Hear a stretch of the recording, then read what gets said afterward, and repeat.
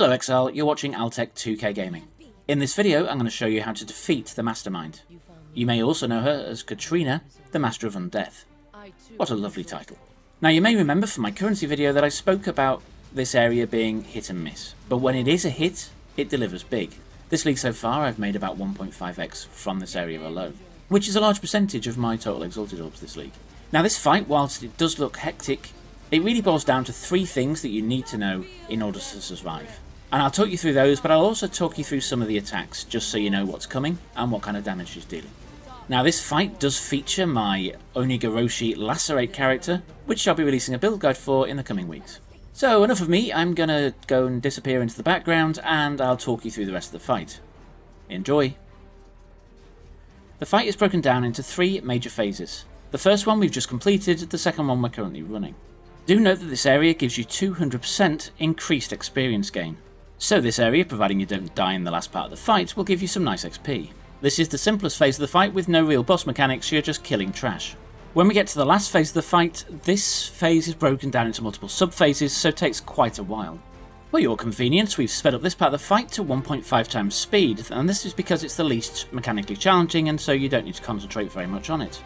I'm running this at level 83, which is the maximum level that you can run this at. And for those of you who don't know, level 83 is the equivalent of a tier 16 map. And as we're reaching the last part of phase 2, let's talk about the portal, which we need to drop just before we enter the last fight. After all, who wants to do the walk of shame? Ooh, I know this one. Me, me. Altex, shush.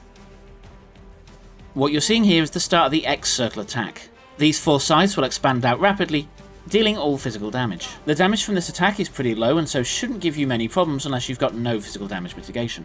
This skull is lethal, physical and fire damage I believe.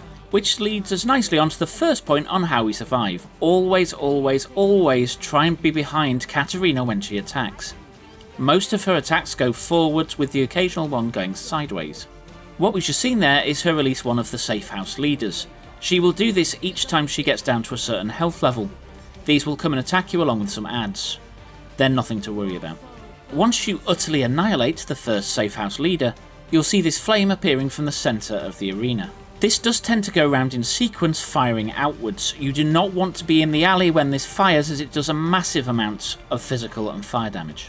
Oh, that was tip number two by the way. You'll notice now that we've lost one quarter of the arena. Basically, when she stops taking damage, you need to go to the area that's currently highlighted, run inside it until it goes black, and then get out as quickly as possible because there's now a dot on the floor which will kill you. This of course means that the fight gets progressively harder the further we go on. At the end of the fight, all four quarters will be inaccessible.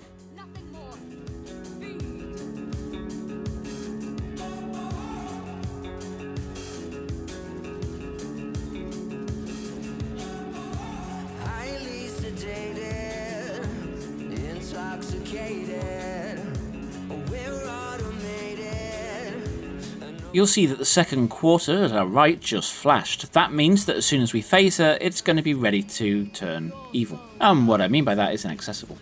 Now, as we continue through the fight, all of her other attacks, with the exception of the big scythe that comes out as a semicircle in front of her, deal physical and fire damage. The scythe attack itself deals just physical damage. Providing your character has a decent amount of health, over 5000, none of the other attacks on their own should be able to kill you with the exception of the skull attacks and that flame in the middle. Now we've talked about the main skull attack which does massive damage, but there's also a load of skulls she places on the floor. These on their own don't do a lot of damage, however, they all start to converge on you after a certain point. When they converge on you, they explode, so you get massive amounts of overlapping damage which will kill you.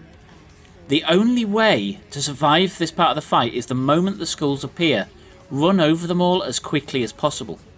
If you can, save a Quicksilver Flask charge for this purpose. It is very, very important that you run over all the skulls to destroy them before they get to the phase of crawling towards you. And this is kind of counterintuitive to the fight. You don't expect this, you expect to want to stay away from them. It killed me so many times when I first started doing this fight. Please do not follow in my footsteps.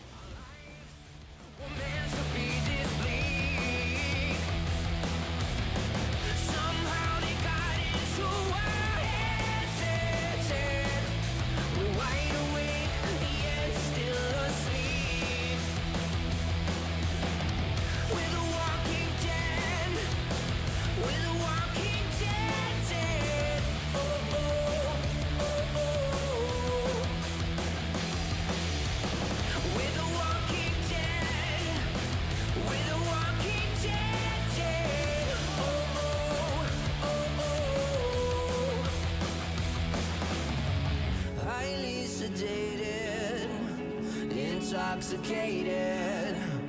We're automated and overpopulated.